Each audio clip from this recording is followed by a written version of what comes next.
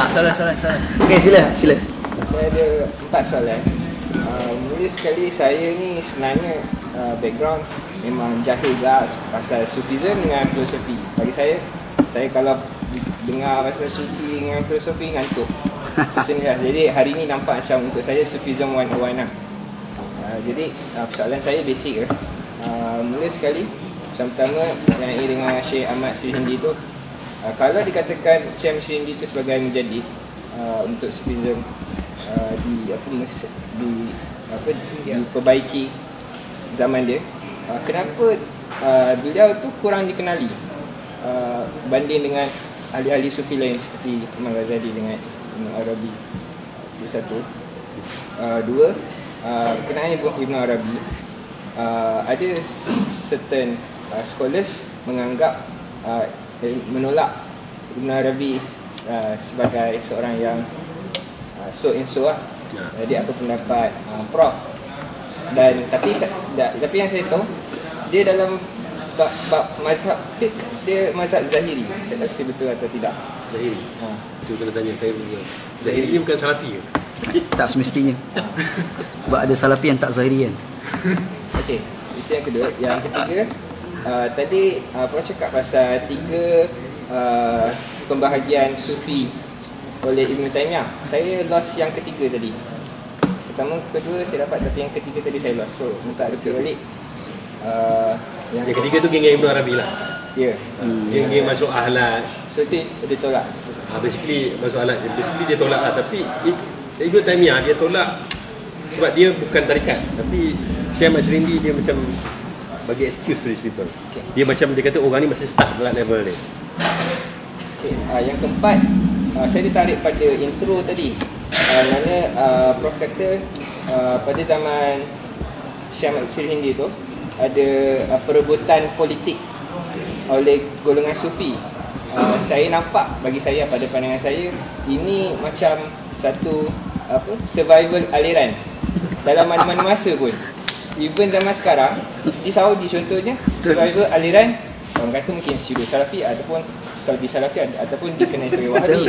Jadi uh, di, di mana-mana zaman akan ada bagi saya survival aliran. Bahkan uh, contoh yang klasik yang uh, popular adalah zaman uh, Imam Ahmad bin Hanbal aliran dia adalah Mu'tazilah. Yes. jadi saya nak minta komen pada Prof kat soalan Itu, itulah jawapan dia tadi dah cerita tadi. Politik ni ada di mana-mana. Dalam company ada politik, dalam keluarga pun ada politik. Ada anak yang juga suka bodek mak bapak kan datang, "Alah mak bapak bagi duit depan-depan kan." Ha, ada yang jenis tak kisah Dunia kan. ni tak ada jujur. Dunia ni tak ada manusia. ni semua ada kepentingan, ada politiknya. Agenda. Jadi uh, dari segi situ dalam orang yang kata tak nak berpolitik pun actually dia berpolitik juga. Sebabnya dia manusia ni nature manusia ni ada yang nak merentah, ada yang suka dia mengikut. Dia memang macam tu. Orang kata tiga ta lah. Wanita, harta, tahta. Ya. Dia antara tiga tu dia every man have a vice. Cuma macam ni you control it. Ha. So Sufi is malah dia kata sufi dan sebagainya pun dia pun ada nafsu. Kecuali lah dia dah zauk Kecuali dia dah zauk yang tak ada Sebab tu dia macam negatif Sepatutnya sufi ni zauk Dia tolak semua dunia Dunia ni semua fana kan Tak ada harga Buang semua miskin hidup melarat kan itu anarkis lah. Sufi ni sepatutnya anarkis. Tetapi kita pelik sufi-sufi yang kan? Sufi ni sepatutnya anarkis. Sepatutnya lah. Asal ya pengajaran sufi ni. They should be anarkis. Dia sufi ni mesti anarkis lah. Sepatutnya. In theory In theory. In theory. Tetapi berlaku kita tengok berlaku sebaliknya Dia kalau sufi elitis macam mana? ha? Oh, Sufi elitis. Sufi elitis ni Sufi falsafah jadi Mak Ghazali lah. ha, Dia dah jadi macam Ibn Arabi Dia cerita falsafah Tapi dia sendiri tak sampai experience tu Sebab kalau dia dah sampai betul-betul Dia sampai Kalau betul-betul dia sampai makam fana ni Kalau tengok orang yang makam fana ni Macam gila Macam orang gila Duk tak makan berdiri tegak kan ha. Itu yang dia katakan fana Boleh pengsan kan dia tak makan, tak minum kan Duduk semayang je ke Dia benda pelik-pelik lah Atau cakap benda bukan kan Itu dia fana Tapi kalau duduk cakap Lepak-lepak sembang Makan, minum macam orang biasa je Tiba-tiba fana Fana mana Dia fana dia, Kita boleh nampak orang tu gila Tu kita panggil gila isim kan Gila isim Okay, right. Ada lain? Anda punya komen eh? Ah, ada. Syah, Sila, Syah. sila, sila Syirah. Sila Syirah. Uh, macam tadi apa yang saya faham uh, Tuan cuba cakap bahawa seseorang yang nak bersufi tu ataupun mencari agama tu dia mesti dalam form dalam bentuk form tertentu. Contohnya macam tuan sebut tadi, uh, seseorang yang baca Ibn Arabi atau ba- baca Imam Ghazali, dia jangan anggap dia dah capai tahap tu. Adakah tuan cuba mewajibkan form dalam uh, kita cuba mencari mencarilah mencari makna, mencapai Tuhan sebab bagi saya pengalaman bagi masing-masing adalah berbeza.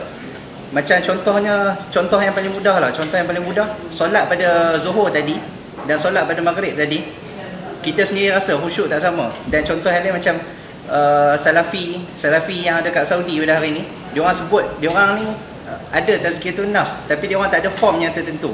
Adakah tuan uh, cuba mencadangkan supaya form ni diwajibkan kepada orang yang cuba mencari bertuhan ataupun macam mana? Dan yang keduanya, Ada sok dia, rasa dia syok mesti gini je. Benda ni pun saya dah actually saya kata, buku ni saya dah simpan lama dah. Saya kata berbelas tahun saya tak baca. Sebab saya pun dulu mencari. Kan? Saya pun dulu mencari jawapan. Tapi lepas saya baca buku ni Betul tu mungkinlah jawapan tadi lah Kenapa Ahmad Syarili ni tak popular Sebab depan orang baca Ahmad Syarili Rasa tak steam lah kan? Tak syok lah tasawuf ni Dulu je syok lah rasa Oh aku nak bersama Tuhan dengan dia Tiba hmm, bayang aja Kan So dia macam potong steam lah Kan Kekukusan. So uh, itu kemungkinan sebabnya Serindi ni jadi tak famous di kalangan sufi. Kalangan orang yang tak minat sufi memang dah akan tolak. Habis kan? Dia ni memang sufi. Jadi bila dia membuat pembaharuan sufi ni setengah-setengah orang yang syok dekat Ibn Arabi kata alamak kan. Itu, itu my view lah. Jadi to answer you sebab tu kita tengok dari uh, saya tengok kepada post positivism ni lah tadi. Maknanya setiap orang ni adalah mencari. Jadi bergantung. To me is bergantung. Kita punya stage mana bergantung. Cuma yang saya cakap tadi ialah orang yang bukan tarikat tiba-tiba dia cerita seolah-olah dia baca tu dia baca je kan. Tiba-tiba seolah-olah dia dah zauk dah. Tapi boleh juga dia berlaku zauk tanpa dia ikut tarikat. Saya pun nak cakap tak ada ada. Kan tapi dia, guru dia siapa? Itulah guru belajar tak berguru ni bahaya. Kan dia duduk zauk-zauk seronok-seronok. Dia tengok eh Ibnu Arabi kata aku Tuhan, aku Tuhan. Syok aku Tuhan. Tiba-tiba guna Ibnu Arabi kan. Ha, ini masalah. Ini yang yang Ibnu Taimiyah kata masalah. Geng-gengan masalah. Sebab tak ada guru. Sedangkan masuk ahlaj tadi yang gila isim tadi tu pun di, akhirnya guru dia kata pancung je. Ini yang tak ada guru ni yang bahaya ni. apa yang saya faham macam ni lah maknanya menggunakan form yang tidak sesuai dengan pengalaman pribadi kita jadi masalah kita menggunakan teori-teori yang tidak fix dengan No, the thing is okay. In my view, benda ni okay. Sebenarnya nafsu apa kal, kalbu kita, kita antara kita dengan Tuhan. Between us and God. Kalau kita katakanlah kita zauk sekalipun, perlu kita cerita kat orang. Sebab orang yang tu tak mengalami. Imam Ghazali contoh ke orang Ibn Taymiyah tak contoh ke orang Tak, kenapa kenapa dia cerita? Ha, kita cerita tadi sebab adanya tadi ada golongan sesat. Dia nak terangkan kepada golongan ses, golongan yang ini sesat. Dia nak ini pendakwah lain tetapi orang level kita bukan ulama, bukan guru tarikat. Kan? Apa kepentingan kita nak cerita kat orang? Kecuali nak membesarkan diri. Wah, aku dah zauk kau belum? Kan? Ana rasa dia cerita tu dalam keadaan dia fana. Kalau dia fana tak apa. Kalau dia tak fana itu ceritanya. Yang tak tahu mana dia tak fana. Ha. betul, betul, betul. Agreed, agreed. Agreed. Memang kita tak tahu macam mana kita nak tahu dia fana ke tak kan? Ha, itu agak susah lah. Tapi Tak pada anak al-halaj tu. Halaj tu dia fana dalam keadaan dia tak sedar dia fana. Betul. Jadi bagi saya simple je. Ini my view. Saya sebagai Junaid akan pancung dia. Sebab sebab entah syar'i entah bukan sufi yang tak agaban.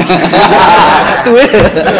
Sebab bagi saya Syekh Ahmad Syirindi sendiri okey ni ni ni cerita lah. Syekh Ahmad ni my view lah. Okey. At the end uh, uh, the way of the prophet have to go in this world okay, macam kita balik kepada Yahudi tadi lah kalau dia dah betul-betul wali Allah kalau kita pancung pun dia masuk syurga lagi bagus kan baik kita pancung dia Jadi sebab dia menyusahkan orang-orang di dunia Dan rasa macam ni, rasa macam ni. Orang uh, bila pemerintah itu dia menilai apa yang berlaku, dia melihat uh, kerosakan lagi besar. Satu eh. Itu uh, pada ana uh, side kejujuran bagi pemerintah bila tengok ada orang yang kepanakan tak gaban macam Al-Halaj. Tapi kita tengok juga dari sudut yang lain. Maknanya ada orang ni dia dia tengok kehadiran dia tu akan menggugat dia punya kekuasaan pun ada juga kan. Sebab tu kadang-kadang kita kena check balik uh, history ataupun uh, siapa sebenarnya Al-Halaj uh, dan apakah dia telah menggugat kerajaan pada ketika itu ataupun tidak. Itu tak clear. Ha, itu pun kita kena tengok juga side tu. lah. Ha. Sebab kita tengok eh, takkan kau sesaja nak bunuh Muhammad tu dengan alasan nak jaga akidah. padahal something eh? Macam contoh kalau kita baca sejarah seorang ulama nama Imam Ahmad yang kawan rapat dengan Imam Ahmad bin Hanbal Imam Ahmad juga eh? dia dituduh sebagai murtad makanya dia dihukum bunuh eh? dihukum bunuh uh, dan pada ketika itu Imam Ahmad bin Hanbal mengisytiharkan dia mati syahid walhal kerajaan mengisytiharkan dia sebagai murtad nampak eh? maksudnya kan kehadiran di sini itu menggugat pada pemerintah itu sendiri lah. Sebab Ahalat ni membawa ajaran anarki? Ana tak fikir. Tu Ana rasa macam ni lah. Tak apalah Ana punya komen eh. Ada lagi? Prof Ana rasa macam ni eh. Uh, Macam uh, Prof kita Prof Raihan kita ni Dia Sir Hindi. Sebenarnya Rosli antara peminat setia Sir Hindi Dan pengkaji lama Sir Hindi. Kalau Ana sembang dengan dia Dia selalu cerita pasal Sir Hindi Walaupun kadang-kadang Ana tak faham lah. Rosli kan uh, Tak apa Macam ni lah Apa yang Ana faham tentang Sir Hindi yang pertama Sir Hindi ni pengkritik tegar tau pemerintahan Jalaluddin Akbar. Jalaluddin Akbar eh. Jalaluddin Akbar ni dia adilan dia Rumi. Dia Jalaluddin Rumi kan. Dia bawa sebab tu dia konsep dia dia tengok awan pelambangan langit eh Rosli kan. Dia tengok langit dia berpusing kan. Ha, dia tu fanak lah, fanak kan. Ha, dan uh, bila kita sebut Rumi, mak- makanya dia tak akan lari dengan apa yang dibawa oleh Ibn Arabi. Sebenarnya aliran tu lebih kurang je eh. Sehingga kan ada satu ungkapan mengatakan uh, Rumi itu sendiri sebenarnya dia mencipta satu tarekat tapi kalau kan kalau kita nak memahami kaedah sufi dalam Rumi kena baca Ibn Arabi. Sebab itu Ibn Arabi dia tidak pernah buat tarekat. Tetapi kalau nak tahu kaedah-kaedah tarekat Rumi kena baca Ibn Arabi. Ha, itu ada ungkapan-ungkapan sebegitu. Dan ramai orang menuduh Ibn Arabi ni sebagai Rahlatul Wujud. Tapi sebenarnya istilah Wahdatul Wujud ni bukan datang daripada Imam Ibn Arabi. Itulah tuduhan musuh Ibn Arabi kepada Ibn Arabi. Siapa dia? Ibn Taimiyah. Supaya dia Ibn Taimiyah benci kawan tu dengan pandangan sudut pandang sufi dia lah. Dia tolak kan. Jadi dia pun dia buat Wahdatul Wujud. Datang kemudian Sir Hindi, Sir Hindi dia tak setuju, maka dia buat satu kaedah namanya Wahdatul Syuhud. Istilah yang baru pula kan. Apa beza Wahdatul Wujud dengan Wahdatul Syuhud? Ah, ni ramai-ramai mesti pening. Kalau orang Wahdatul Wujud, dia kata la ara syai'an illa wa ara wa ara wa ara Allah fi. Aku tidak akan melihat sesuatu kecuali aku akan melihat Allah pada benda itu.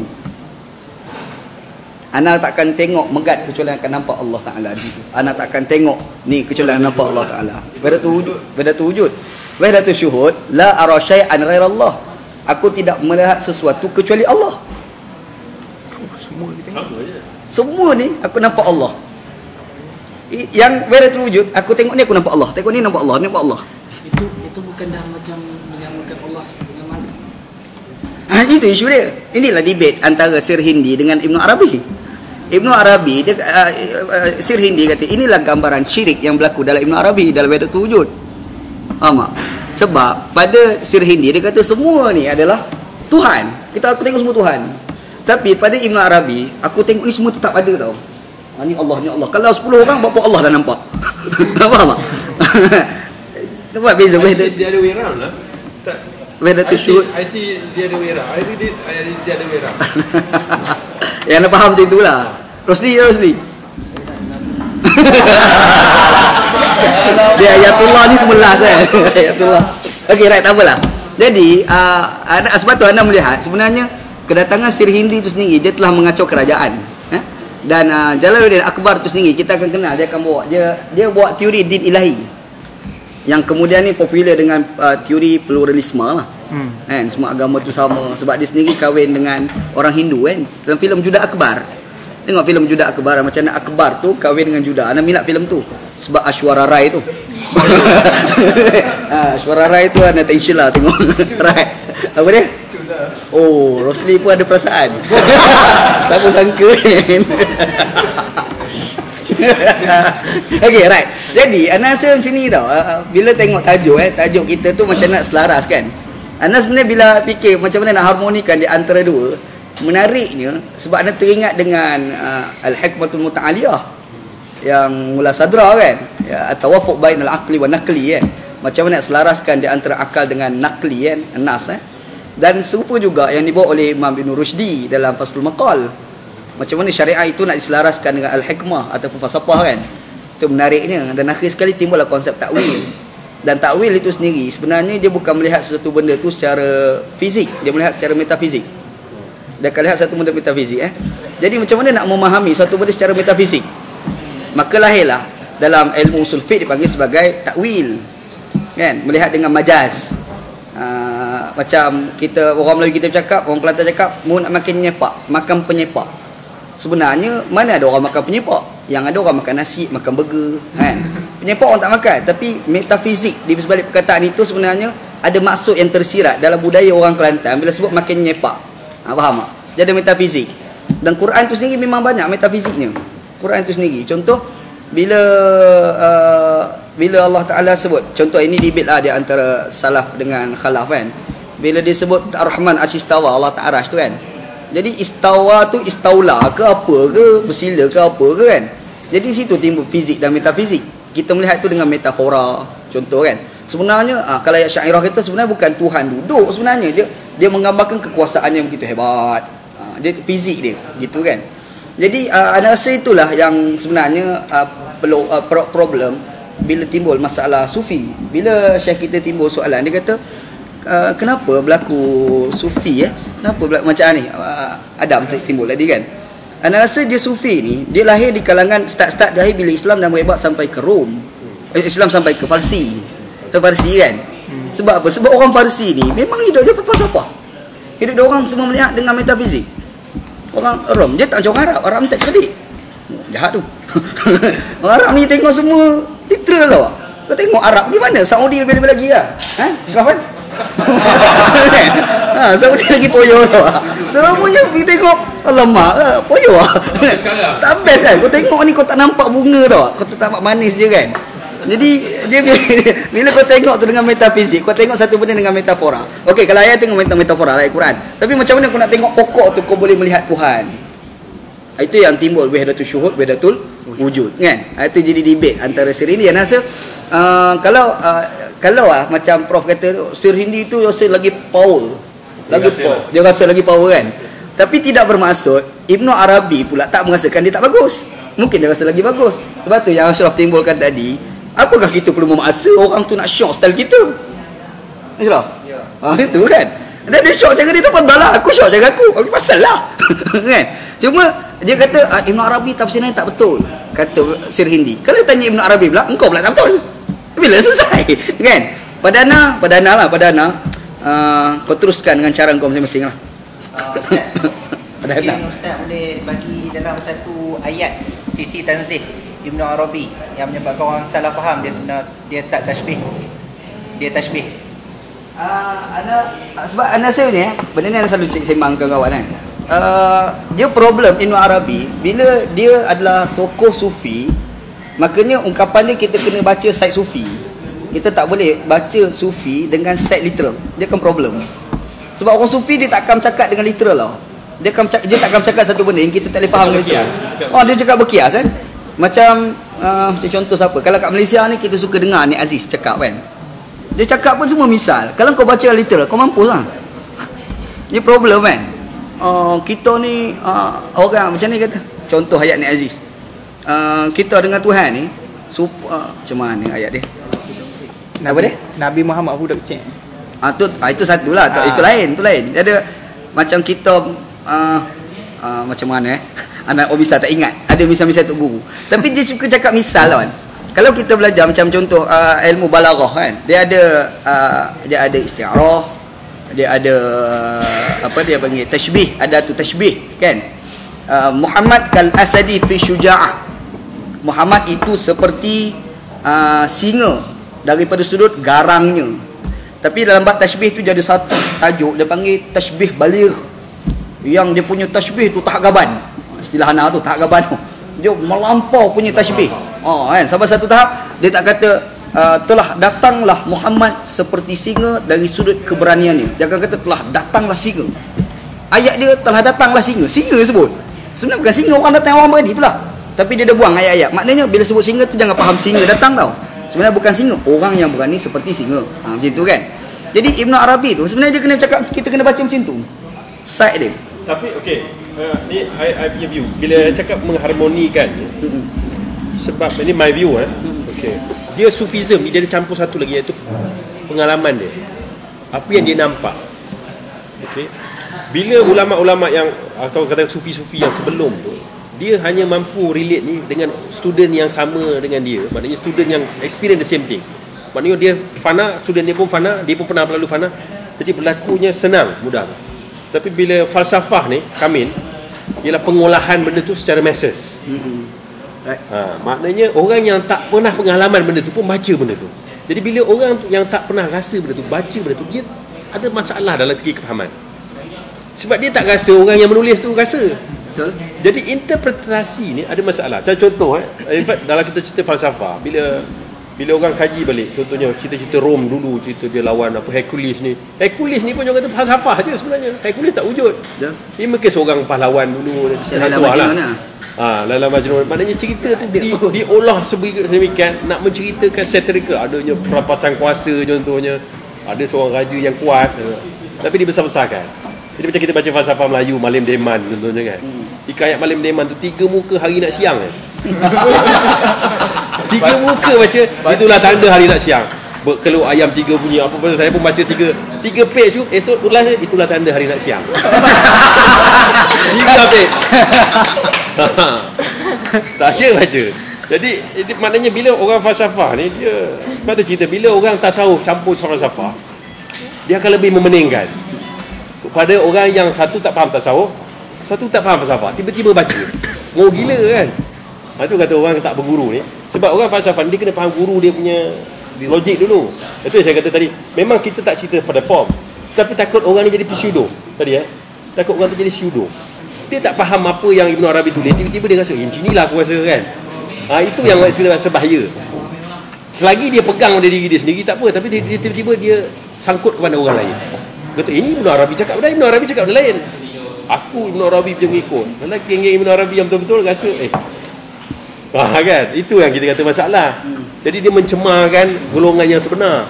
Macam tadi dia cerita geng-geng yang bukan Ibn Arabi dia tiba cerita ah, aku ikut Ibn Arabi. Lala meng- mengotorkan nama Ibn Arabi. Jadilah orang tuduh Ibn Arabi wahdatul wujud Sama ada wahdatul I don't know whether Macam Tetapi bagi saya Bila uh, Ini in my view eh, Bila Syah Ahmad Dia cerita Wahdatul wujud Ibn Arabi Dia cerita dari tulisan Ibn Arabi So in my view Itu bukan satu tuduhan saja. Tapi maknanya Ibn Arabi describe it in his writing. Istilahnya. Ah, istilah-istilah yang dia describe tu berlaku. Maknanya kalau orang cakap tu tapi kalau kita tengok daripada penulisan dia. Tu ada pula argue kata fusus al-ikam tu mungkin bukan Ibn Arabi tulis orang lain tulis. Ah tu ada masalah lagi. Jadi kadang-kadang uh, to me we tackle the idea rather than the person lah. In my view the idea. What wujud as the idea Hmm. yang yang yang Dia, dia, dia, subs, dia kandungan tapi label tu bukan dia bubuh. Ha. Ha. tu label orang lain tapi kandungan tu lain. Ha, kandungan tu kandungan tu lah. Tapi Kandungan inilah maka Ibn Taymiyah kata ini Wahdatul Wujud. ha. Ha, maka dikritik lah oleh Sir Hindi lepas pada tu kan. Ha, apa Maulana Ahmad Sir Hindi Al-Faruqi ya. Rosli. ya Rosli komen. Tentang apa yang komen? Pasal Sir Hindi dia, lah. I, I think he's he's a bit confused. Uh, the wahdatul wujud wahdatul syuhud what's your view. Yang saya boleh katakan sebenarnya bila Seri Hindi mengkritik uh, uh, Wahdatul Wujud Ibn Arabi ada yang ada yang menarik misalnya uh, dia sebenarnya cuba mereform uh, tarikat Naqsyabandi sehingga uh, Seri Hindi dikatakan sebagai orang yang uh, akan ada Naqsyabandi Mujaddidi kan? Hmm. And then apa yang dilakukan oleh Sri Hindi sebenarnya sebelumnya gurunya Ala Daulah Simnani itu sendiri dah buat dah lakukan dah kritik. Memang ada beberapa problem yang dikritik oleh uh, Sri Hindi terhadap Ibn Arabi. Tetapi yang menariknya kritik-kritik uh, Ibnu uh, kritik-kritik Sri Hindi terhadap Ibnu Arabi sebenarnya juga didorong oleh uh, pengal apa pengaruh Ibn Taymiyah. Ini yang banyak orang tak dapat nak faham. Macam mana kebiasaan orang kata Ibn Taymiyah yang di tasawuf lah. Tapi dalam konteks pengalaman uh, India ketika itu, idea-idea Ibn Taymiyah itu sendirilah yang sebenarnya yang mereform Naqsyabandi itu sendiri. Naqsyabandi Mujaddidi. Uh, persoalan tentang uh, antara pengalaman wahdatul wujud dengan pengalaman wahdatul syuhud. Dia macam ni lah sebenarnya. Apabila uh, seorang macam Ibn Arabi tu dia tulis dia melalui pengalaman ya seorang yang dikatakan pengalaman sufism macam kata tadi dia terlalu abstrak dia suka nak dihuraikan sebab tu kebanyakan orang-orang sufi menggunakan medium puisi syair sebagai medium untuk menghuraikan. Itu pun sebenarnya bahasa terbatas kan jadi tak mampu nak huraikan perkara tu. Walaupun macam saya pernah sebut sebelum ni bahawa idea-idea sufism tu dah ada uh, di kalangan orang filosofi. Misalnya uh, siapa ni? Misalnya uh, Ibn Sina ataupun Farabi dalam isyarat tambihat dia ada sebut di, bahagian akhir karya dia tetapi uh, ini masalah kita pula melihat uh, makna falsafah tu itu satu hal juga lah okay. tadi yang tentang uh, jadi akhirnya uh, Sufism tu hanya boleh difahami melalui pengalaman-pengalaman spiritual yang abstrak tadi lah. Jadi orang yang nak faham perlu melalui pintunya, melalui sastra. Lepas tu kalau kita bukan orang sastra, tak ada kehalusan jiwa, memang kita memang tak boleh nak faham pengalaman-pengalaman spiritual yang dilalui oleh seorang. Sebab tu Omar lah ahli sufi. Uh, menarik memang ada satu uh, macam siapa ni pengkaji Sri Hindi macam Abdullah Ansari sebut tentang Sufism and Syariah satu karya dia tentang pada satu tahap tertentu sebenarnya Sri Hindi pernah sebut dia kata kalau aku semayang aku kafir Sri Hindi juga melalui pengalaman itu sebenarnya. Pengalaman syuhudiah itu sendiri.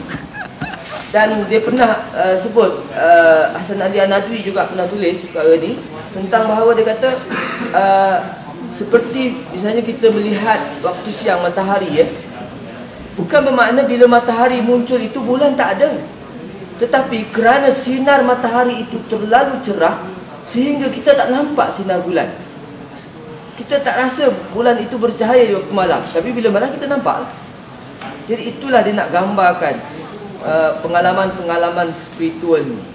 Lagi satu problem terhadap uh, kita melihat Ibnu Arabi ni sebab kita melihat dalam kajian uh, orientalis.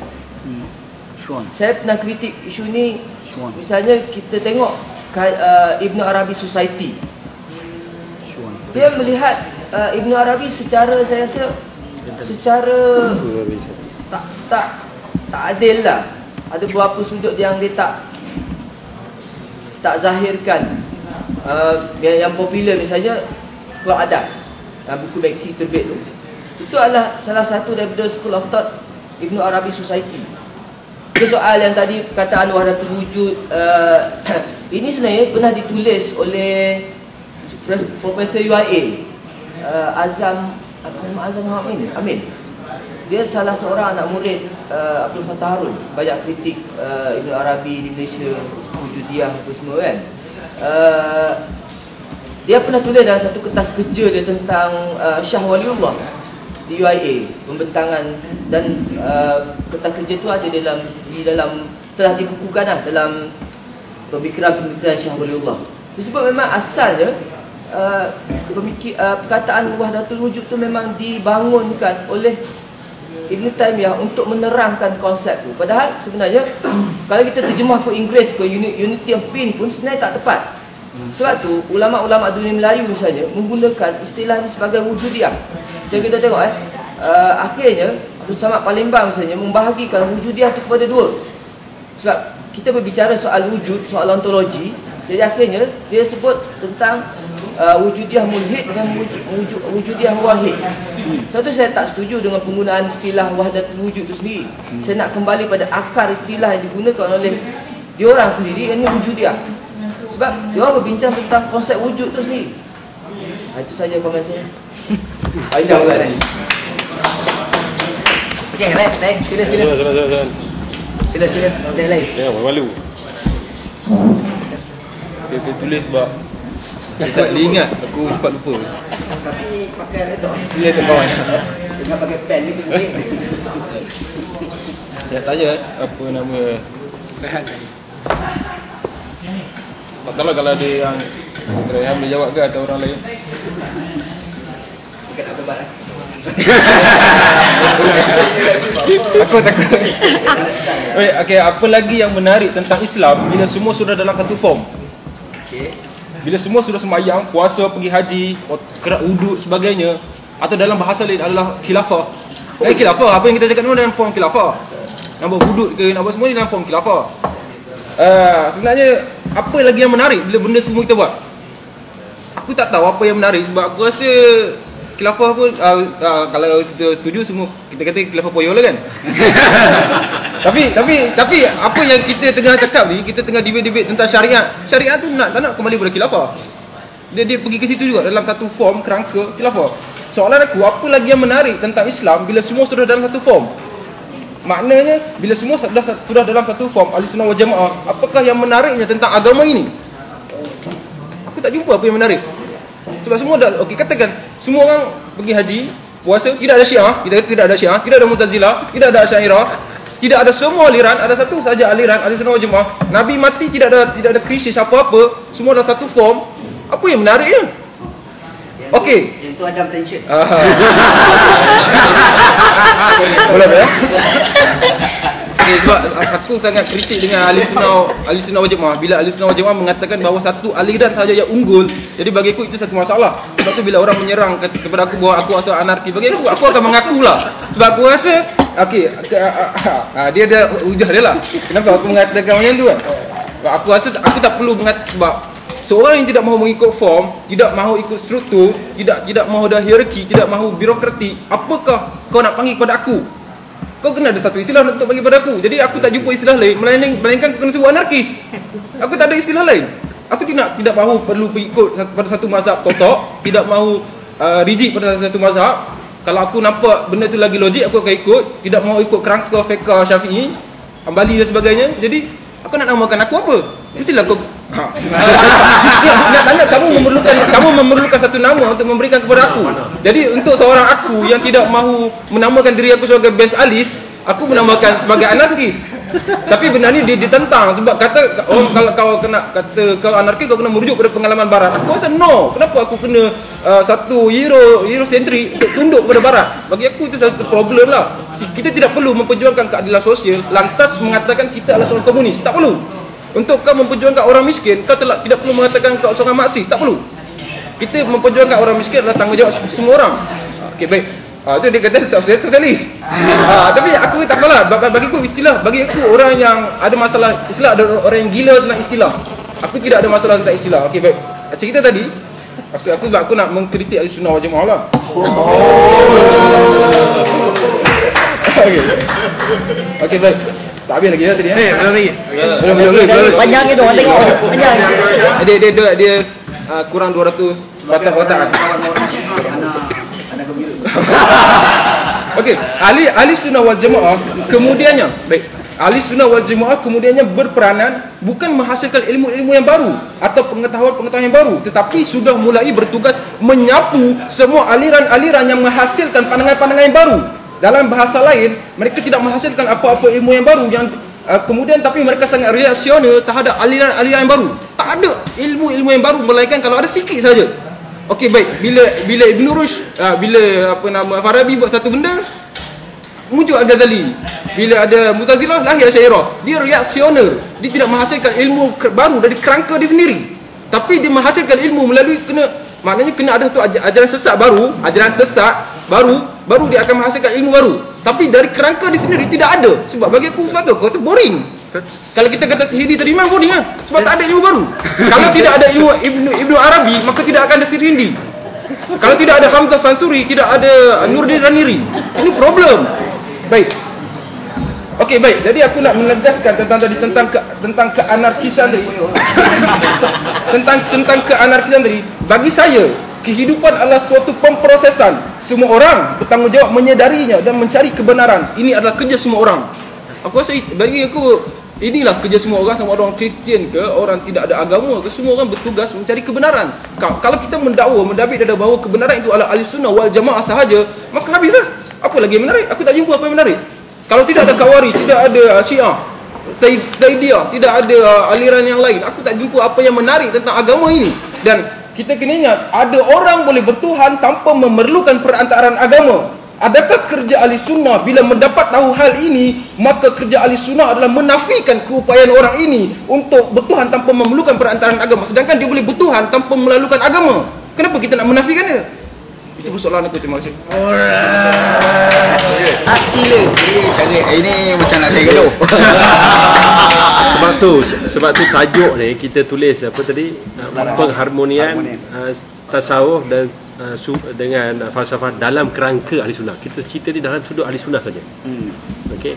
Kalau kita nak sudut dari cerita sudut orang lain to me saya tak ada hak sebab saya aliran ahli sunnah sebab saya tak tahu aliran lain macam mana dia Kau pandang Mu'tazilah eh? Ha, bukan. Wala- Walaupun ha- pernah hampir menjadi syiah Oh.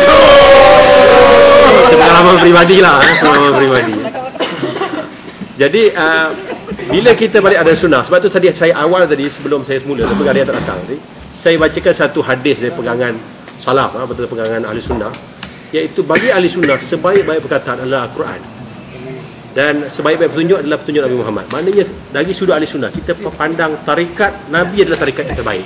Ini pandangan ahli sunnah. Eh. Kita cerita ni pandangan ahli sunnah saja. Kita cerita pandangan lain. Ha, jadi pandangan ahli sunnah tarikat yang terbaik adalah tarikat Nabi Muhammad. Sebab tu geng-geng tarikat ni pun dia akan akhir Nabi Muhammad. Tak adalah tiba-tiba dia berhenti dekat uh, Ma'ruf Al-Qurki kan. Dia mesti naik sampai Nabi. Dia sama ada sanad tu palsu ke betul ke kan. Dia akan naik pada Nabi sebab ahli sunnah dia percaya bahawa tarikat yang terbaik adalah Nabi. Cuma sampai pada dia tu dalam bentuk yang lain lah. Dia kata okey Ali lain. Sama Farisi lain. Maknanya apa channel-channel yang lain lah. Tapi balik kepada Nabi balik kepada uh, kepada Allah. Sebab ada yang tulis pula chain dia daripada Allah kepada Jibril kepada Nabi baru turun Ali uh, ada yang lebih lengkap lah. Ada yang main lompat-lompat lah kan. Jadi uh, maknanya ahli sunnah ni kita pegang bahawa perkataan yang terbaik ialah kalam Allah Al-Quran so apa-apa apa-apa pandangan yang banyak-banyak ni kita akan cuba selaraskan kepada Al-Quran dan apa-apa apa sunnah-sunnah tarikat-tarikat dan sebagainya akan kita selaraskan kepada uh, hadis Nabi ataupun uh, amalan Nabi. Jadi inilah kerangka ahli sunnah. Maknanya orang yang lain kalau dia nak jadi Kristian itu hak dia. Tapi kalau dia nak mengaku tiba-tiba saya ahli sunnah tapi saya nak buat benda ni eh, tak boleh lah. Sebab kami ahli sunnah.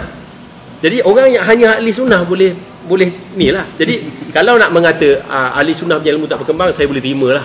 Tapi bagi saya bagi saya ahli sunnah tu berkembang bila dia interact dengan orang Kristian, dia interact dengan orang lain dia berkembang. Jadi sebenarnya memang memang reaktif sebab itulah dakwah. Dakwah ni reaktif. Ada, ada anak muda, ada sosialis sekarang saya nak menunjukkan parti Islam sosialis lah contohnya kan. Sebagai reaksi kepada sosialis. Islam sosialis. Ha. Ah, macam mana? Pas apa ni? PSI ataupun ataupun kita panggil PSB Parti Sosialis Baru atau Parti Sayang Bulan pun boleh. Orang emas. Bersih mana? Syariati tu bersih mana ni? Bersih So so bagi saya tak tak tak tak lah saya masih mencari lagi betul mencari.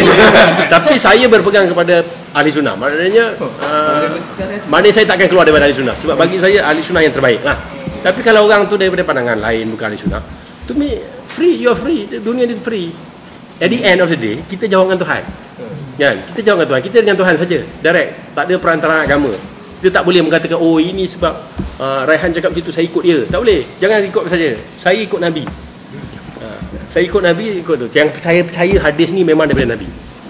Ha, menerusi Abu Bakar ke anak. Itu saya punya pegangan. Tapi Kalau kalau saya ikut Nabi tak semestinya saya ikut Raihan. Ha, betul tu. It's okay. It's okay. Tapi pandangan ahli sunnah ni tu cerita tadi pandangan ahli sunnah ni sudah di, di, dihujahkan oleh banyak ulama-ulama yang ahli sunnah. Jadi sekolah ni dipanggil sekolah ahli sunnah. Sebab tu kita kata kerangka ahli sunnah. Tapi kalau orang tu dia nak jadi anarkis ke, nak jadi uh, apa nama Marxis ke, itu Marxis lah kan. Dia tu sekolah Marxis kata dia terkeluar daripada Marxis itu atau dia nak cakap apa kan. Ha, bagi tapi cumanya in my view kita tak boleh jadi pseudo. Maknanya kita mengaku salafi tetapi kita bukan salafi. Ha, itu bahaya. Tiba-tiba claim ya kan. Nanti kita memburukkan nama orang tu macam orang yang mengaku ahli sunnah. Sebab dia suka tengok ahli sunnah glamour semua mengaku ahli sunnah. Padahal dia syiah. Tapi mengaku tak kira ahli sunnah. Bahaya. Kan? Ha, jadi dalam dunia kena betul terang lah. Kalau kita ahli sunnah, kita ahli sunnah. Kita kena faham prinsip-prinsip ahli sunnah. Apakah manhaj ahli sunnah? Ini ramai orang sekarang ni kata dia ahli sunnah. Tapi bila tengok akidah berterabur. Tengok uh, mazhab berterabur. Bash. Ha. Kalau dia ahli sunnah tapi dia boleh jam antara Syafi'i dengan Hanafi dia masih ahli sunnah. Kan? Tapi tiba-tiba dia ikut kahwin pergi ikut mutaah pula ikut Syiah. Tapi kata ahli sunnah. Bak kahwin je. Bahaya. Dia kahwin Jadi ahli sunnah dia kena ikut uh, ahli sunnah. To me. Kalau dia nak keluar, dia ngakulah keluar. Saya dah murtad dari ahli sunnah contohnya. Ngaku kan. Kalau dia Islam dia kena ikut Islam. Islam senang je tenet dia Allah Muhammad kan. Ha. Kalau tiba-tiba dia ngaku oh okay Jesus pun Tuhan tapi aku Islam. It's confusing to people. So to me labeling labeling ni is needed for other people. Kalau sendiri-sendiri nak show ah, itu dia dengan Tuhan lah kan. Tapi bila kita berinteraksi dengan manusia, manusia akan jadi confused. Saya ni katakan, saya mengaku saya gorilla. Kamu pening. Kan? I'm not gorilla kan. Tiba-tiba mengaku, saya Superman. Eh tapi sebenarnya uh, ma- mendakwa diri sebagai ahli sunnah ni penting. Ah, to me, okay. Tak ada to me, okay. Orang lain pun akan mem, mem, sebab kita mengaku saya tak cukup macam saya kata saya prof kan. ah, contoh je kan. Jadi, adakah orang lain iktiraf saya sebagai prof? Tapi saya dah definisi lah. Prof di sini bermaksud cikgu sekolah menengah. Ah, jadi bukan prof universiti, prof sekolah menengah. Okay, so okay. Eh rendahnya definisi tu. Sebab dalam bahasa Spain, profes, profesor is a cikgu sekolah menengah. ha, jadi definisi itu kena jelas, eh? kena jelas. Eh, That's uh, according to me lah. Jadi orang yang dia mengaku dia ahli sunnah, sepatutnya dia kena mempelajari apakah maknanya boundary ahli sunnah. Yang mana kalau dia terkeluar, ha, dia bukan ahli sunnah lah. Dia tak boleh seronok-seronok. Sebabnya dia akan ambil pandangan orang ni, dia tak boleh main, main jam, lompat-lompat. Kan? Tapi untuk pandangan dia sendiri, kalau dia selagi dia tak claim, dia tak memburukkan nama orang lain, tak ada masalah. Tapi bila dia keluar perkataan tu, ha, macam geng-geng salafi, ngaku salafi. Kan? Lepas tu dia kata, aku salafi, kau bukan kau Magdali lah, apalah kan. Ha, kan? Saya tu. Lepas tu aku ahli sunnah, kau, syi, ha, kau salafi bukan ahli sunnah. Salafi bukan ahli sunnah. Kan?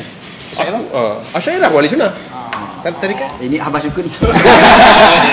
Ha. Sebabnya kalau kita tengok, kalau kita tengok Asyairah, Asyairah ialah usaha ahli sunnah untuk menangani Mu'tazilah. Jadi dia sebenarnya ahli sunnah. Cumanya dialog tu dalam, dalam bahasa Mu'tazilah yang tidak dipahami oleh geleng, galangan geng-geng Mak Kedali ni tak faham. Mat Khalim. Ha, Mak Kali ni dia tak faham padahal hujah tu hujah tu hujah Mu'tazilah. Tapi dari sudut ahli sunnah. Yes. Betul. Ha. Dia, dia tak faham. Dia kata, oh ni dah terkeluar. Kau ni grup, grup Mu'tazilah ni. Kata. Tapi bukan Mu'tazilah. Dia orang ahli sunnah. Ha, kau geng ahli sunnah pula, geng Asy'ariyah pula tembak pula geng Azhari ni kan. Dia Azhari kan. Kata yang ini dia literalis ni pun ahli sunnah juga. Tarikat Sufi pun dalam kerangka sunnah. That's, dia patut cerita tadi. Dia, Sufi pun ada yang ahli sunnah. Ada yang keluar. Ada Sufi yang terkeluar. Tapi Syir Hindi ni siapa iktiraf dia ahli sunnah? Sebab kita tengok okay, in my view, kita tengok dia punya dia punya ni karakter-karakter dia dalam ahli sunnah. Maknanya dia balik pada Al-Quran, balik pada uh, in fact dia setuju dengan Ibn Taymiyah. Ibn Taymiyah pun ahli sunnah kan. Ada pula orang kata Ibn Taymiyah bukan ahli sunnah kan mujasamah lah apa kan. Kita tengok buku dia. Jadi sebab kita kena balik kepada apa yang dia tulis. Bukan apa yang orang cakap berkenaan pada dia.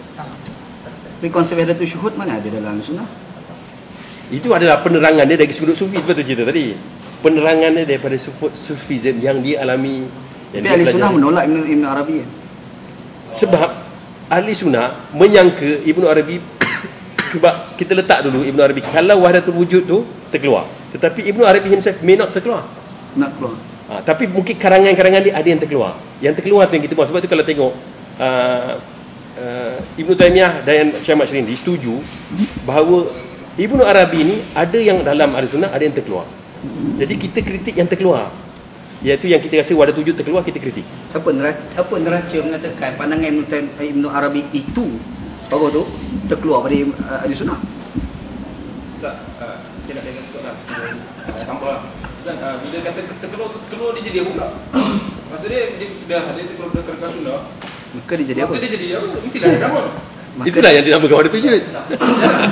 Wahdatul wujud itu bukan sunnah. Kan, kan Ah. kerangka, kerangka tu diwujud kat kotak-kotak tadi, dia diwujudkan di kepala kita sendiri.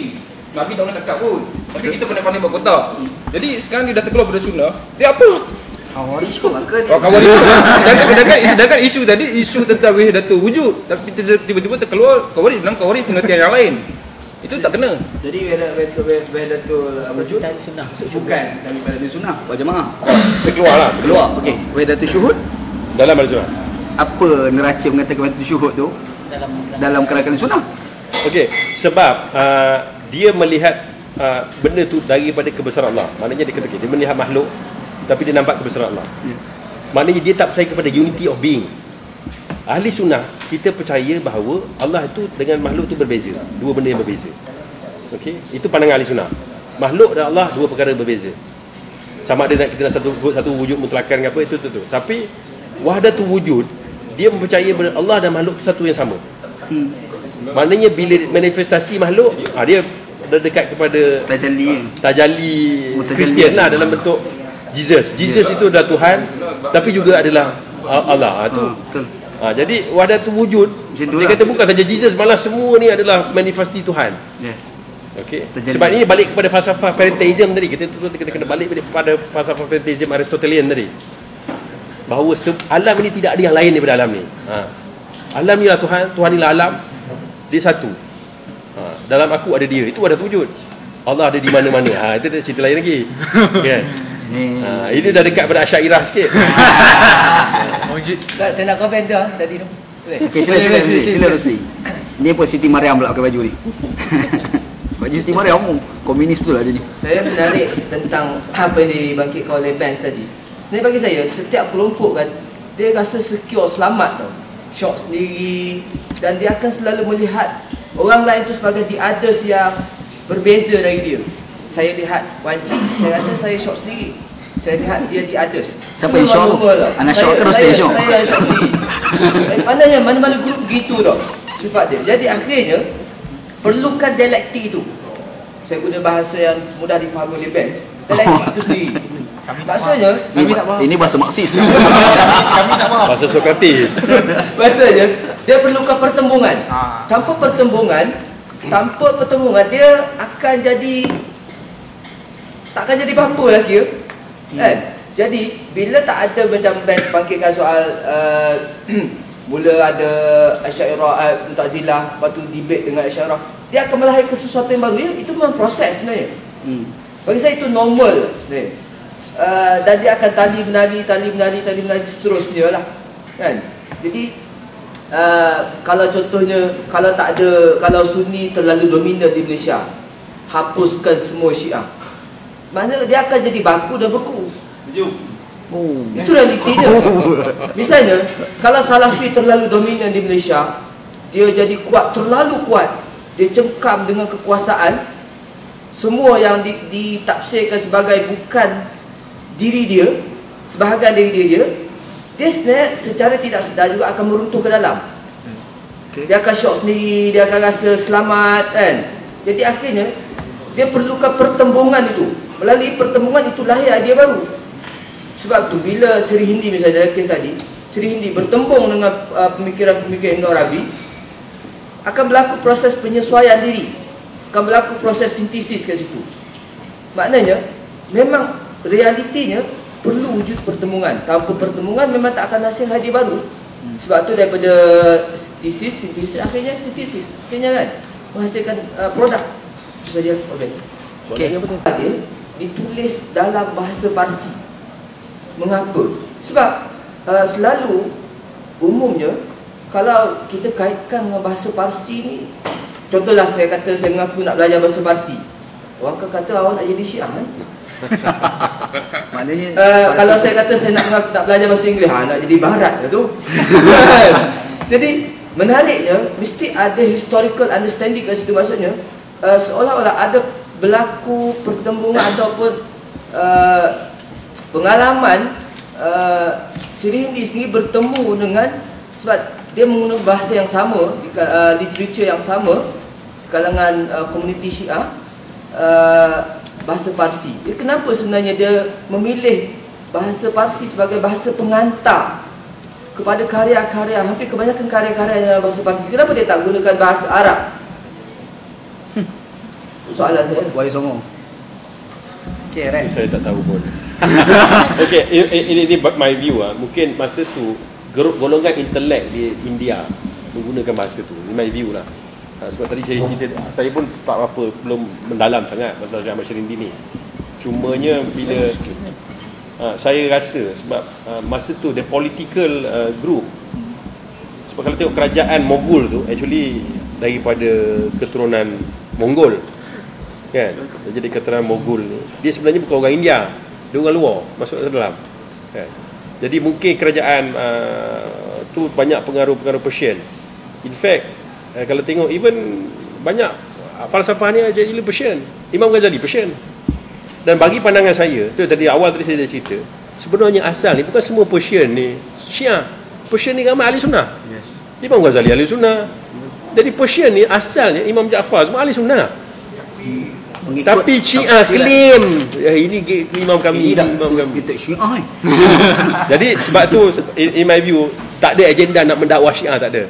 Dia nak mendakwah ahli sunnah yang rata-rata dalam golongan intelek. In my view lah in my view. Hmm. intelek di India golongan intelek golongan ulama-ulama India masa tu menggunakan bahasa Parsi sebagai bahasa perantara lah. Kadang-kadang anak fikir, ni anak fikir lah. Uh, khayal-khayalan kan. Jadi India ni sebenarnya dia pengaruh uh, Rumi lagi kuat daripada Ibn Arabi. Segi pengaruh kan, sufi dia kan. Tetapi uh, sebab orang kata kalau kau nak faham Ibn uh, Jala- Jalaluddin Maulana Jalaluddin Rumi ni secara berkaedah kau kena baca Ibn Arabi.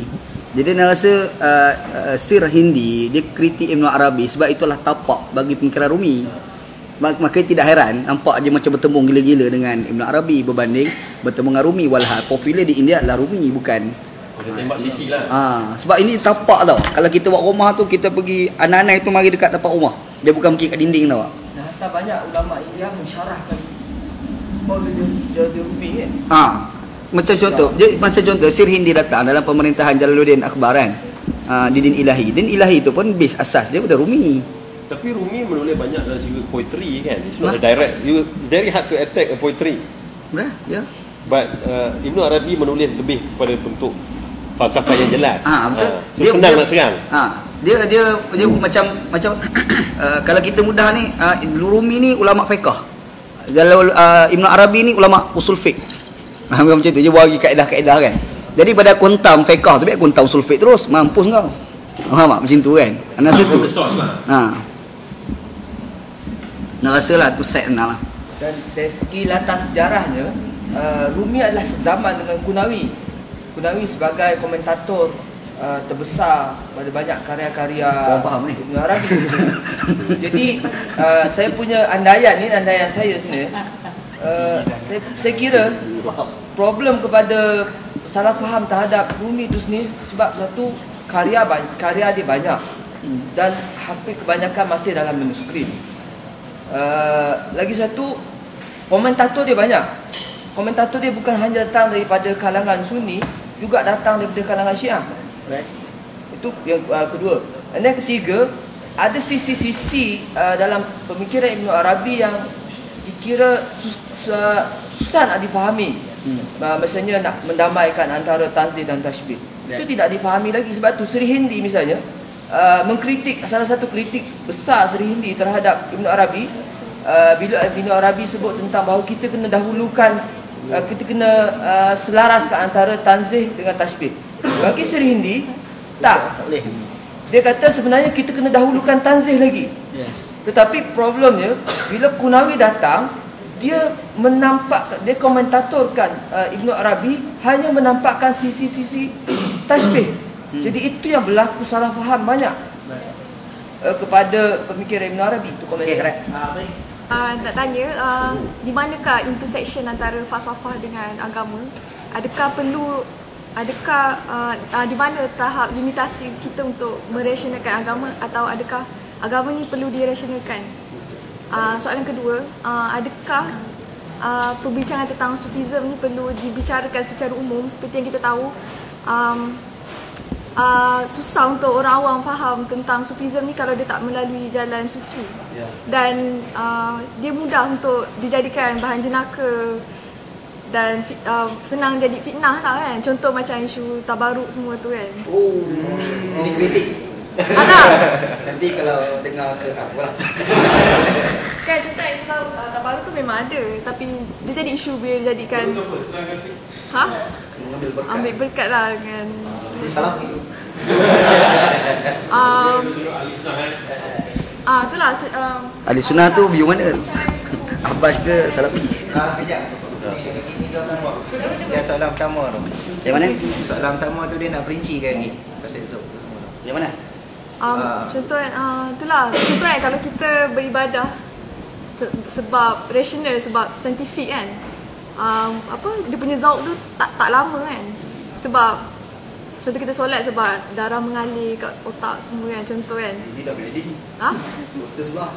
kan lepas tu uh, tapi kita hilang rasa zauk tu uh, sekejap je kan so adakah adakah perlu kita merasionalkan amal ibadah kita atau Bagaimana? kalau kalau boleh di mana limitasinya Baik. Okey. Kasih. Khabar kasut. Okey, right. Masuk. Ada lagi, ada lagi. ada lagi. Nak, tambah sikit lah. Sila sila. Saya tak tahu saya ni saya ni nak bagi pandangan ke ataupun nak tanya soalan. Tapi Okey. kalau ada tanda soal belakang soalan. Okey, um, umum tahu sufi satu aliran yang memenatkan akal, meletihkan akal untuk belajar memikir ataupun menilai. Um, Memenatkan bagi mereka yang tak faham. ah itulah. Okey, right. Cuma Terus. uh, boleh ke sesetengah pandangan mengatakan sufi ni karut? Itu soalan saya. Dia, dia ni atuk dia Ustaz Syahri Arkam tau. Eh, tak ada bukan. Walau, walau, walaupun walaupun saya pun dari keluarga dari keturunan um, sufi tarikat jugalah. Betul. Kan. Anda Ha. Soalan soalan ni saya tanya pada dua-dua lah. Be- Um, bolehkah kita mengkarutkan sufi? Okey. Bagus. Ah. Okey, right. Okey. Sana sana. Ada lagi soalan? Okey, sila sila Syah. Soalan ni banyak tak jawab begini. Kumpulkan dulu. Jawab, anda terlupa soalannya. Ah, Nak nak simpan dulu, simpan dulu. Okey, right, jawab. Okey, ini ini semua pandangan saya. Ah, pandangan. Pandangan saya kelebihan uh, tasawuf tu, dia cerita apa dia jawab dia dah cerita isu mengambil berkat. Kalau kita belajar tasawuf, in my view ah, kelebihan wahdatul wujud ah, ataupun wahdatul syuhur whatever, tahap zauk ni adalah tahap bahawa kita percaya bahawa macam tadilah cerita sebenarnya semua ni formless. Okey. Kalau kita percaya pada level tu lah. Maknanya at the end of the day kita ni bayang ataupun kita ni bersatu dengan Tuhan. Depend on you wahdatul syuhud ke wahdatul wujud lah kan. Kalau you kata so at the end of the day kalau wahdatul wujud dia melihat syariat ini hanya sebagai syarat untuk sampai kepada hakikat. Ya. Okey, itu masalah yang kita dia kritik wahdatul wujud ni. Maknanya bila sudah sampai hakikat tidak perlu lagi syariat. Bila sudah sampai hakikat, kenapa perlunya ambil berkat pada orang when you can talk direct to God? You are God basically quote unquote kan. Kan, basically you dah bersatu. Kita dengan Jadi sahabat logik dia, logik dia kenapa ada berkat? I don't cannot see why. Ha. Jadi guru tu hanya alat untuk sampai kepada hakikat. Bila dia dah sampai hakikat dia tak perlu pada guru. Kalau betul dia pada pada falsafah wadatul wujud eh, pada wadatul syuhud, guru tu hanya medium untuk sampai. Sebab itu bila yang ada yang sampai tu, kalau kita tengok hujah jangan pasal Nabi tolak tepi. Nabi tu dah tak penting. Tu dia dia direct dengan Tuhan. apa? Ha, itu ada yang itu yang yang kita discusskan tadi adakah tahap wali tu lagi tinggi kan? Maknanya dia dah tak perlu pada nabi. Dia dah ha, dia dah terus ber- dengan Tuhan kan? Apa perlu ada nabi? Ha, jadi benda tu tak logik pula tiba-tiba dia ada ini I berfikir dari sudut mana eh? Tiba-tiba nak ber- berpegang pada guru. Apa perlunya guru lagi? So pelik, ada sikit konflik di situ dari segi ajaran. Jadi saya nampak adanya politicking dalam dalam ajaran tarikat-tarikat yang begini. Kalau tarikat yang sebenar tu ni guru tu dia dia nafikan diri dia. Masa mula-mula ya dia kena bimbing murid dia. Bila dia dah murid dia dah sampai level tu dia kena nafikan diri dia.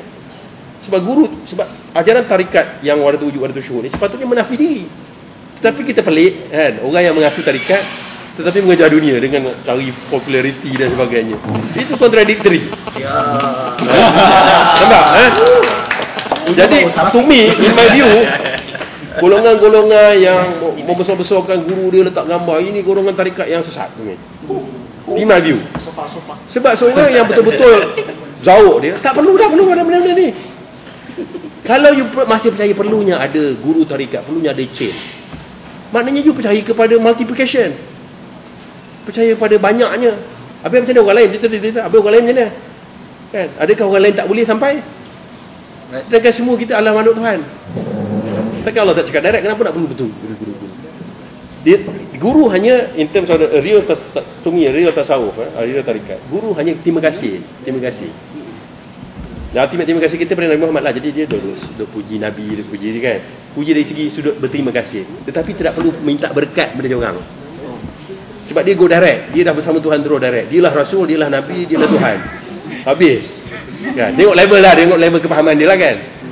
Tapi bila dia ahli sunnah, perlulah dia pada minta berkat dari Nabi. Sebab dia percaya Nabi lah pintu. Macam juga Kristian percaya Jesus adalah pintu.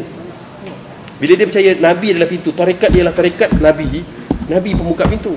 Sebab dia dia percaya Nabi adalah Nur Muhammad, Nur yang pertama terpancar. Jadi untuk Nur dia sampai kepada Allah, kena melalui Nur Muhammad.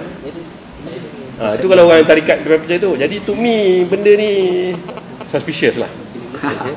Jadi tabaruk dengan Nabi je. eh. Nabi dah tak ada tak ada. Ha. Nanti ada kita selawat je lah. Kita selawat. Terima kasih. Berkasidah Dan sebagainya kan. Ha, Tak apa.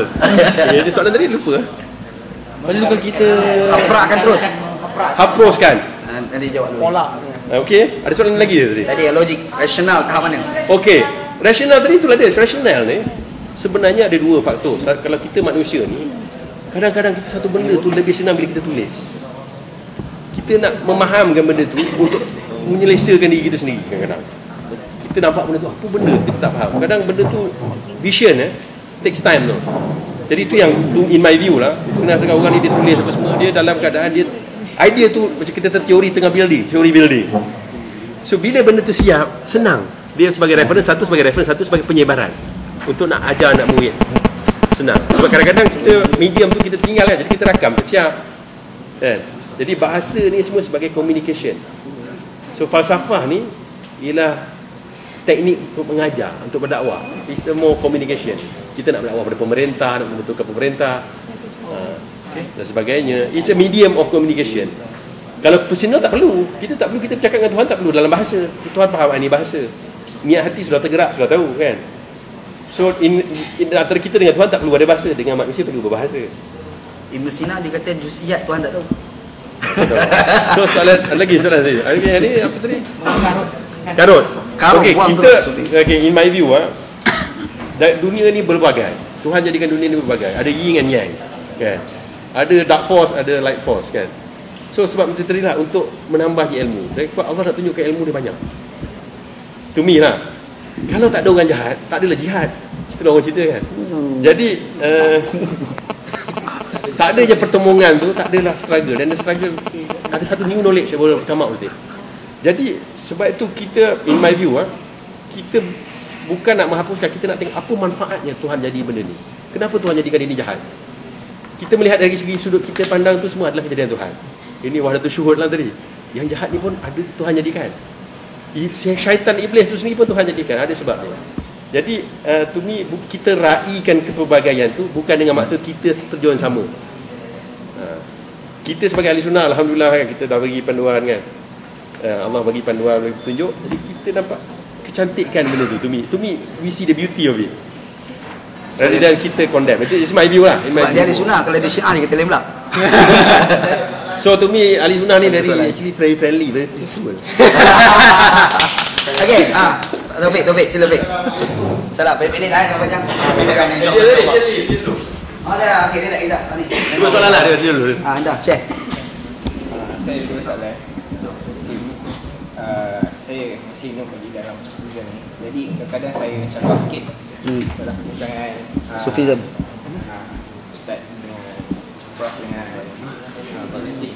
Uh, pada saya, apa yang saya faham basic uh, Sufism ni penting basisnya daripada sejarah juga yang uh, wujud disebabkan ialah uh, ulama-ulama masa tu.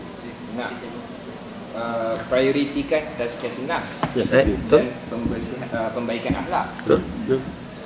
Uh, dan sebab itu uh, saya minat dengan uh, kitab karangan Ibn Ibn Athir Syarah Hikam Okey. uh, jadi daripada kitab tu uh, kalau saya nampak uh, uh, praktikalnya sufi tu bagi saya lah. Uh, jadi kadang-kadang uh, bila saya dengar dalam berda, uh, perbincangan ketepatan uh, aliran yang lebih kompleks dalam Sufism yang berkaitan dengan falsafah Ibn Arabi, Sidi Hindi, Al-Ghazali saya tertanya-tanya apa sebenarnya perdebatan yang complicated ni uh, apa sebenarnya manfaat bagi masyarakat umum sebab uh, saya nampak Islam sebenarnya the main essence of Islam ialah uh, membantu masyarakat umum membantu orang miskin, membantu anak yatim jadi perdebatan-perdebatan yang sangat kompleks ni pada pendapat saya uh, Buang tak masa. nampak praktikal ya Ini dia. uh, Buang masa lah. Cakap lah. lah. ah. Okay, right. saya tak nampak uh, dia punya uh, Relevant. Relevan dia praktikal even uh, zaman sekarang untuk orang umum eh yang yang mungkin yang bukan pada aliran agama lagilah dia kadang mungkin lost lah dalam perbincangan yang very complicated. uh, mungkin itu uh, logika golongan salafi dalam sebahagian yang menolak sufism ni. Uh, itu pertanyaan saya lah. Uh, yang kedua uh, saya uh, ada tahu yang kitab Ihya Ulumuddin karangan Imam Ghazali. Sebenarnya adalah usaha oleh Imam Ghazali untuk uh, apa? Untuk mengharmonikan golongan, golongan antara ahli sufi dengan ahli fiqh. Kalau tak silap saya? Lah. sebab pada zaman tu uh, umat Islam sangat berpecah dan uh, kalau tak silap saya zaman uh, negara apa? Crusades um, menjajah banyak negara Islam saya tak pasti betul tak uh, Crusade belum ada sebenarnya zaman Imam Ghazali. belum Crusade datang 900 something hijrah eh. Oh, betul betul betul. Crusade ada Crusade. sebab Sorry sorry. uh, Dia silap. kalau saya tak Saya ingat lagi. uh, tulisan siapa Betul betul Crusade. uh, uh, daripada gerakan tajdid Imam Ghazali uh, dengan antara kitab popular dunia Ulumuddin tu dia membantu 100 tahun selepas itu uh, usaha uh, tentera Islam dipimpin oleh Sayyid Ayyubi uh, untuk uh, merampas balik Jerusalem. Uh, jadi saya nak Oh, isu krisis. kenaan dengan ya dan sekarang Okay, right. Dulu dulu dulu dulu. Sila, Fik. Salah. Dua soalan eh. Yang pertama uh, yang Prof kata tadi uh, mengenai kenapa dicipta pertembungan ada orang jahat ada orang baik. Kalau Allah Taala cipta benda tu maka kita nak tanya di mana keadilan Tuhan? Adakah Tuhan tu dia sengaja buat orang jahat untuk masuk ke dalam neraka? First. Yang kedua uh, mengenai Al-Ghazali sebab Al-Ghazali ni antara tokoh uh, tasawuf Ahlus Sunnah kan. Ada se- sejak sebahagian mencatatkan bahawasanya Al-Ghazali ni pada saat-saat akhir hayat dia dia kembali kepada akidah salafi balik dan dia macam menentang tasawuf dalam kitab-kitab yang terakhir dia selepas daripada Ihya Ulumuddin. Uh, mohon penjelasan. Okay, right. Sila. Ini ini semua pandangan saya lah eh. Okey. Kita isu dia ialah kenapa berlakunya berarti agree I agree with you. Sebenarnya ada pengaruh politik. Lepas tu cerita asal dia banyak orang refer pada sebenarnya tasawuf ni gerakan tasawuf ni asalnya tadi, saya dah cerita sebenarnya daripada awal.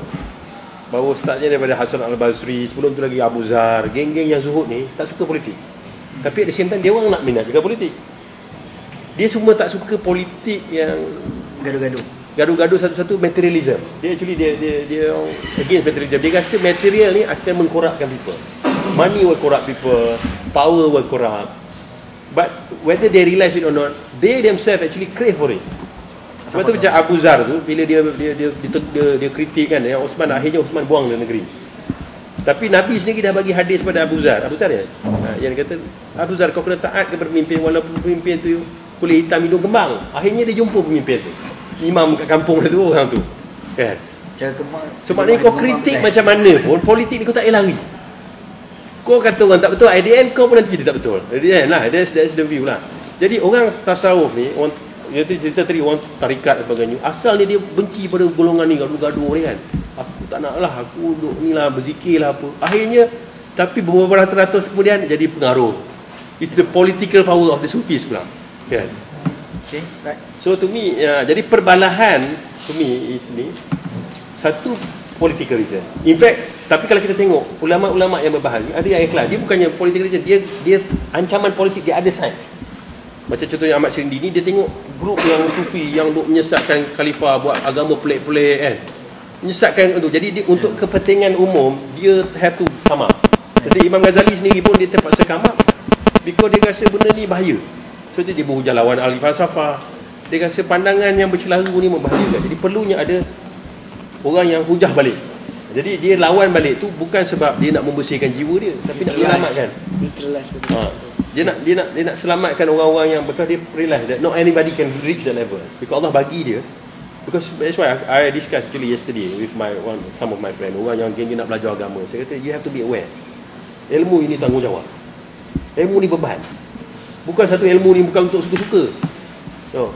The more you know, the more responsibility. Akan tanya. Ha, sometimes ignorance is bliss lah. Lagi bodoh kita tak tahu lagi anaki relax kan. Tak payah buat apa-apa. Demi lah. Ha. The more you know, the more Ini bukan kutuk ah. ini kan kutuk ini. ini ah. Tapi Tuhan dah bagi kita satu uh, kebijaksanaan. Tuhan bagi kita ni ni. Adalah sebab dia. Okay. So we to me in my view, kita kena buat kita punya purpose. Ha, we have to kita basically kita jadi, jadi apa? Uh, wa ma ramaita ila ramaita kan. Innallah harama. Gitulah. Kita itu tugas kita. Jadi redhalah dengan tugas kita. Okey. Okey, menjawab uh, soalan dia tadi. Kan? Oh, okey. Ki- related dengan dia punya ni kan? Lebih kaitan. Related dengan dia punya Ha, ni kan. Okey. Saya jawab dulu uh, itu uh, pasal kenapa Tuhan jadikan orang masuk neraka ke apa kan? To me, wallahu alam kita pun tak tahu. Kan? Kita pun tak tahu kenapa. In fact kita pun tak tahu kita masuk neraka ke tak kan? Okay. So na'udzubillah lah kita pun tak tahu Tapi itu hak dia Itu hak Allah uh, Itu hak dia Tuhan yang hati lah buat orang jahat. Tak, adakah kita tahu orang jahat tu benar-benar wujud? Adakah orang jahat tu benar-benar wujud? This, this, this is question yang okay ini daripada sudut falsafah Ibn Taymiyah eh yang di, yang tidak disetujui oleh Salafi eh. Soalan soalan ni soalan falsafah. Berapakah keyakinan kita bahawa orang jahat tu betul-betul wujud? Adakah orang jahat tu sebenarnya tak wujud? Adakah Hanya satu bayang untuk orang. menguji kita. Ha, kan? Jadi to me at the end kita balik kepada diri kita. Persetan kan orang jahat ni. Kita buat apa yang kita perlu buat lah. If I have to fight them, I fight them. If you have to kill them, kill them. Tapi kita tak tahu dia wujud ke tidak.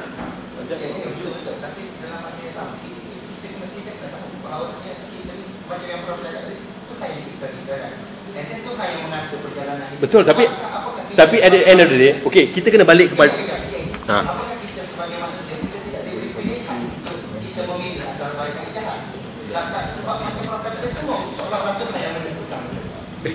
I never say that.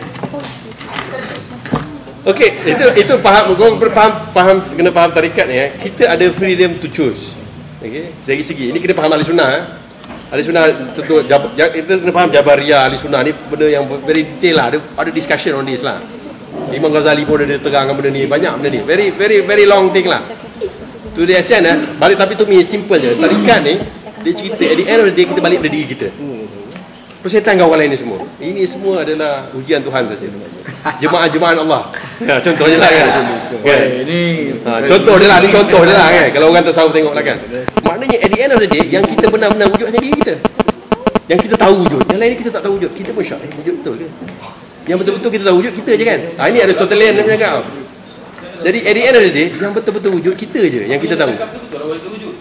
Ya, Sebab ya. sebenarnya yang wujud, yang mutlak adalah Tuhan. Dan Tuhan mewujudkan yang lain-lainnya. Itulah. Itu ada wujud. Ha, ialah. Ha, tengok, tadi dia tak pasal mengaku. Sebab sebab tu ada debate-debate tentang surga neraka tadi.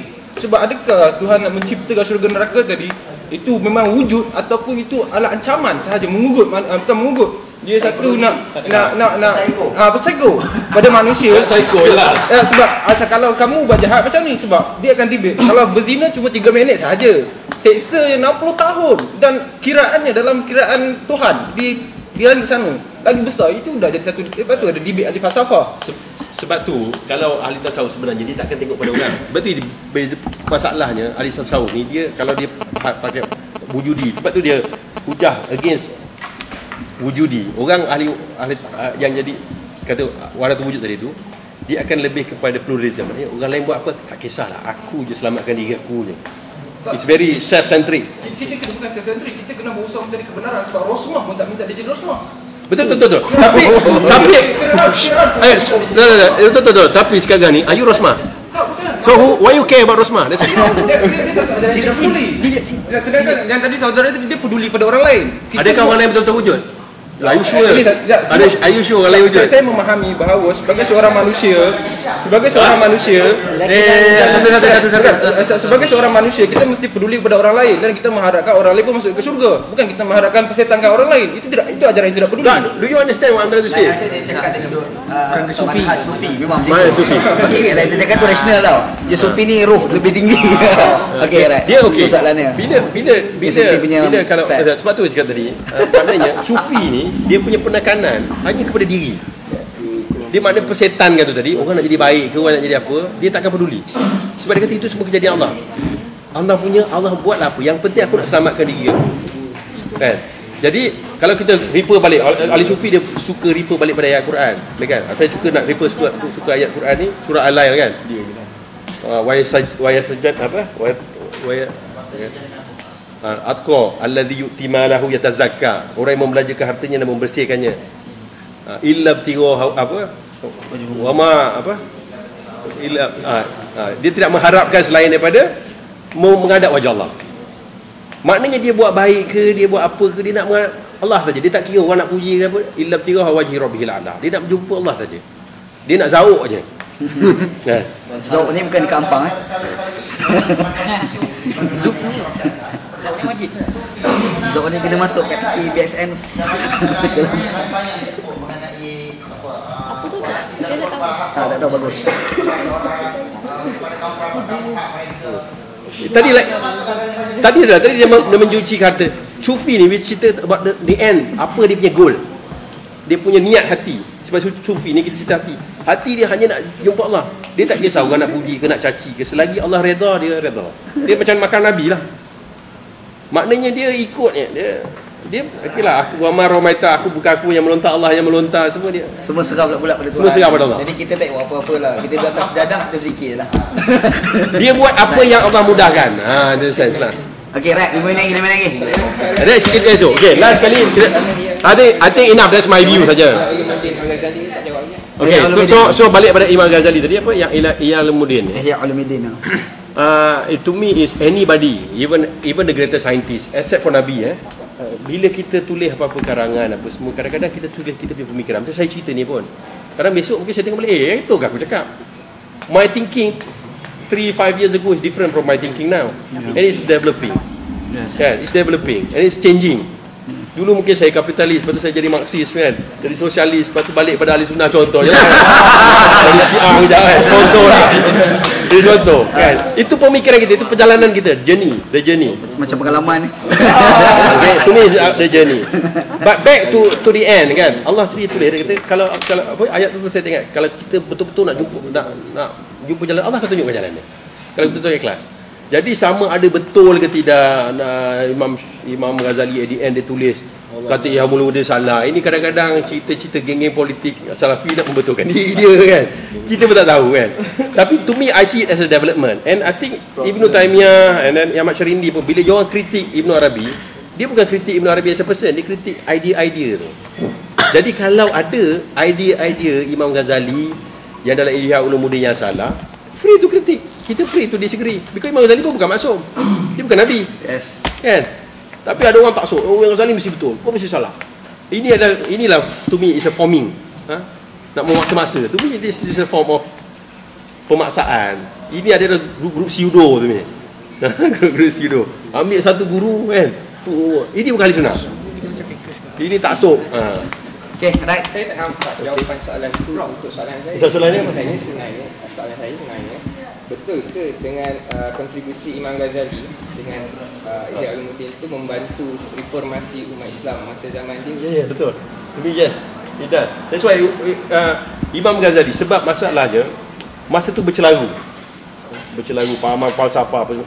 Jadi, uh, masa tu Imam Ghazali berjaya basically contain them dalam pahaman ahli sunnah. Nah, sebab tu cerita dia, dia hujatul ahli sunnah. Kita panggil dia ahli sunnah punya hujatul Islam lah, apalah kan. Itu gelaran yang ahli sunnah bagilah, syiah tak tahu bagi nama apa kan. Jadi dari pandangan ahli sunnah Imam Ghazali berjaya menyatukan balik pandangan-pandangan ni menyebabkan ahli sunnah oh orang-orang yang jahil-jahil ni semua ah okey. Confused. Ya, sebab perbalahan antara ahli fiqh dan juga ahli sufi tadi. Ahli fiqh duk macam kita kata ahli fiqh ni macam geng-geng hudud ke geng-geng salafi yang keras ni. Oh potong tangan geng-geng geng-geng sufi dia pula tak apa biarlah biar nak kafir pun kafir lah semua sama kan pluralism. Pluralism in that context pluralism yang kita faham mungkin ada different sikit. Maknanya semua sama akhirnya akan jumpa Tuhan juga. Dinu ilahi kan. Jadi it's too extreme.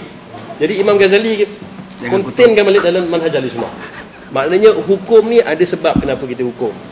Ha, kenapa kita toleration? Ha, pluralism in terms of kita respect orang lain agak pahaman dia sebab dia pun adalah satu roh yang cuba mencari jalan untuk cari Tuhan. Dia tolerasi doesn't mean kita ex- ha, kita ambil. Kita accept as a natural process.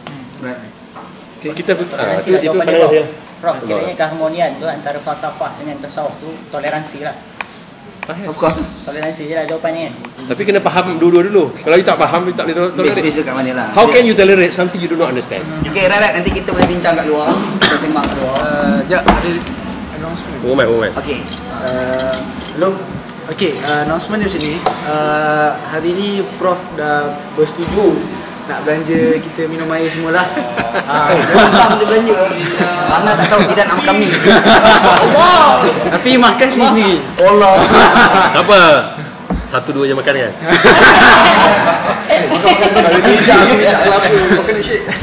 itu je lah kot. Uh, sekian terima kasih. Rasanya sampai sini saja. Kita boleh sembang kat luar. Boleh bincang kat luar. Yes, yes. Anda rasa banyak tadi anda nak bincang kat tapi masa tak tak, tak mengizinkan. So lepas ni kita sambung kat luar lah. Kat luar lah insyaAllah eh. Okay. Uh, terima kasih pada Prof, Prof Rehan Tahir. eh. Assalamualaikum. Prof.